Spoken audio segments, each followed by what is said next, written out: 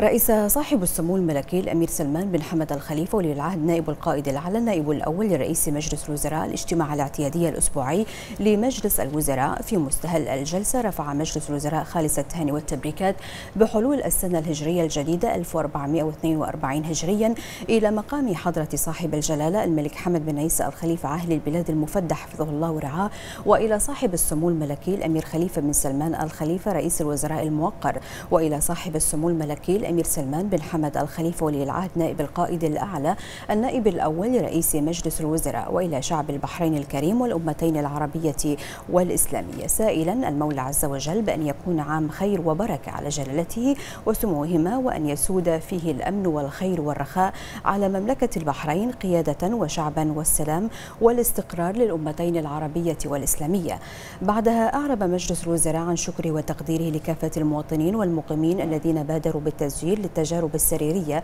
الثالثة للقاح كوفيد 19 مثنيا على الإقبال الكبير على المشاركة في هذه التجربة وهو ما يعكس الوعي والحرص المجتمعي على دعم كافة الجهود الوطنية للقضاء على فيروس كورونا ويبرهن على ما يتمتع به أبناء المملكة من إحساس مسؤول تجاه الإنسانية من خلال تطوعهم في هذه التجارب المهمة.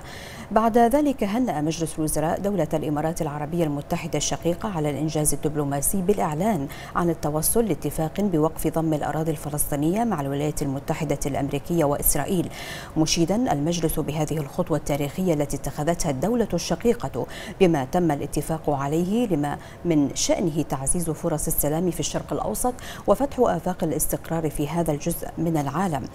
وفي سياق متصل فقد استنكر مجلس الوزراء التهديدات الإيرانية تجاه دولة الإمارات العربية المتحدة الشقيقة وما تنطوي عليه من تداعيات خطيرة على الأمن الإقليمي لا تصب في صالح استقرار المنطقة فضلا عن كونها تدخلا مرفوضا في شأن داخلي وقرارات سيادية خاصة بدولة الإمارات العربية المتحدة. يتنافى مع مبادئ القانون الدولي الذي يحترم سيادة الدول وعدم التدخل في شؤونها الداخلية.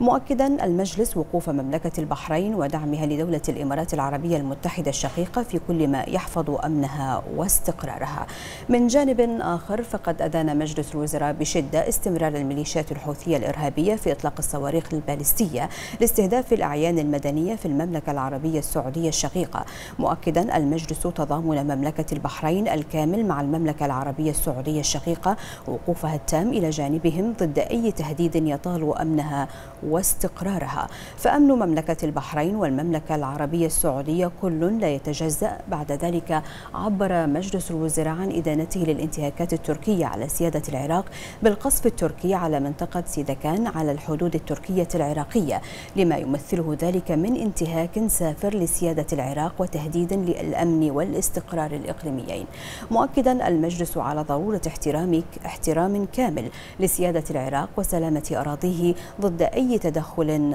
خارجي. وقد أدلى سعادة الدكتور ياسر بن عيسى الناصر الأمين العام لمجلس الوزراء عقب اجتماع مجلس الوزراء الذي عقد صباح اليوم عن بعد عبر تقنية الاتصال المرئي بالتصريح التالي.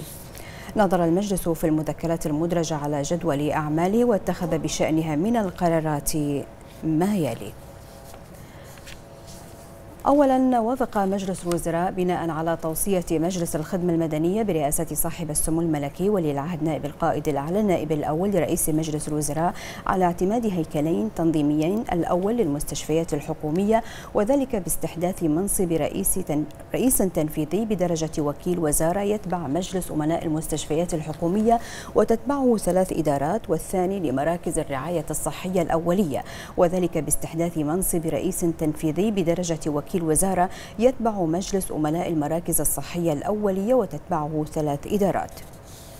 ثانيا استعرض مجلس الوزراء مذكرة مرفوعة من وزارة المالية والاقتصاد الوطني بشأن المؤشرات الاقتصادية التي عكست أداء القطاع القطاعات والأنشطة الاقتصادية لمملكة البحرين حتى شهر يوليو 2020 والتي أظهرت تحسنا ملحوظا في أداء عدة قطاعات خلال شهري يونيو ويوليو 2020 وذلك بعد تراجعها منذ شهر فبراير الماضي حيث أظهر التقرير الذي عرضه معالي وزير المالية والاقتصاد الوطني تحسن مستوى المبيعات. المبيعات لعدد من القطاعات والأنشطة الاقتصادية التي تأثرت بشكل كبير نتيجة تداعيات فيروس كورونا. فقد شهد نشاط تجارة بيع التجزئة للسلع غير الأساسية تحسنا ملحوظا عكسه ارتفاع المبيعات الشهرية بنسبة 12 بالمئة وثمانية وعشرين في المئة خلال شهري يونيو ويوليو 2020 على التوالي. وزيادة مبيعات أنشطة المأكولات والمطاعم بنسبة 9% و15% كما أظهرت المؤشرات الاقتصادية نموا ملحوظا خلال ذات الفترة في قيمة الصادرات وذلك بنسبة 2% و12% في شهري يونيو ويوليو على التوالي. وارتفاع أعداد الزوار للمجمعات التجارية بنسبة 20% و30% على التوالي. كما زاد إصدار السجلات التجارية الجديدة للأفراد بنسبة واحد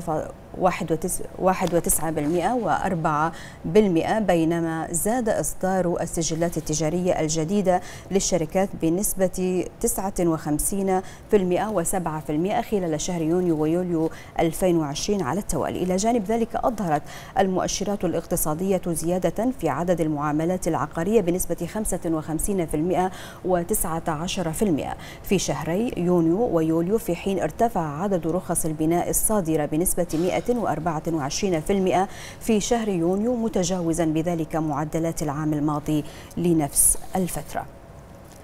ثالثا وافق مجلس الوزراء على مشروع قرار بتعديل بعض أحكام اللائحة التنفيذية لقانون البلديات الصادر بالمرسوم بقانون رقم 35 لسنة 2001 وذلك لجعلها منسجمة مع أحكام المرسوم رقم 50 لسنة 2019 بإعادة تنظيم شؤون البلديات بوزارة الأشغال وشؤون البلديات والتخطيط العمراني بما يتوافق مع إلغاء إدارات الخدمات المالية والإدارات وإدارات الخدمات الفنية في كل بلدية من البلديات وأمان أمانة العاصمة واستبدالها بوحدات إدارية وفنية. وذلك في ضوء المذكرة المرفوعة لهذا الغرض من اللجنة الوزارية للشؤون القانونية والتشريعية والتي عرضها معالي نائب رئيس مجلس الوزراء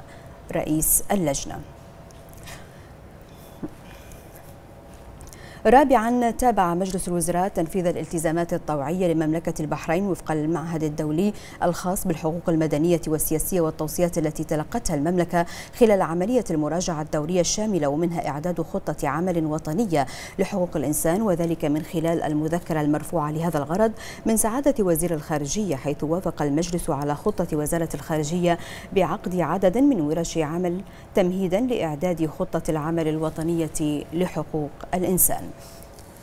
خامسا تابع مجلس الوزراء سير العمل في 91 مشروعا تنمويا قيد التنفيذ بكلفة 413 مليون دينار في ثلاثة قطاعات هي الطرق والصرف الصحي والمباني بزيادة بزيادة بنسبة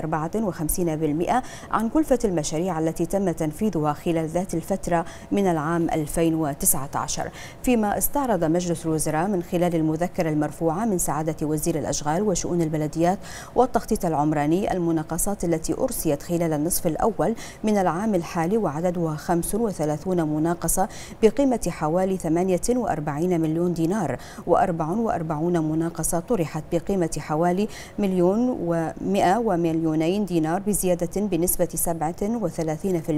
37% عن المشاريع التي طرحت خلال النصف الأول من العام 2019 سادسا وافق مجلس الوزراء على اقتراح برغبة يتعلق بتخصيص وحدات سكنية لأهالي الدائرة الثالثة بالمحافظة الشمالية وذلك لتحققها من خلال المشاريع الإسكانية التي نفذت في البديع والجسرة والهملة ومدينة سلمان. سابعا وافق مجلس الوزراء على اقتراح برغبة بشأن تعليق الدراسة في المدارس الحكومية والخاصة كإجراء احترازي لعدم انتشار فيروس كورونا كوفيد 19 والذي تحقق من خلال القرارات التي صدرت لتعليق تعليق الدراسة وإيقافها حتى إشعار آخر. ثامنا وافق مجلس الوزراء على اقتراح برغبة بشأن إبعاد المحاجر المحاجر الصحية لمرضى لمرض الكورونا عن المناطق السكنية والذي تحقق من خلال متابعة الفريق الوطني للتصدي لفيروس كورونا. تاسعا وافق مجلس الوزراء على اقتراح برغبة لفتح باب التطوع للأطباء والممرضين الباحثين عن عمل أو المتقاعدين والمسعفين لمواجهة فيروس كورونا لتحققه بالفعل من خلال الإجراءات التي اتخذت في هذا الشأن.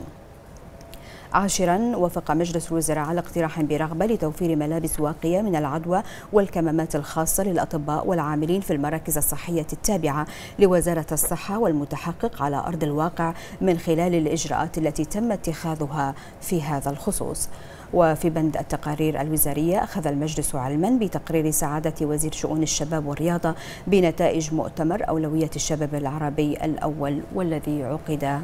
مؤخراً.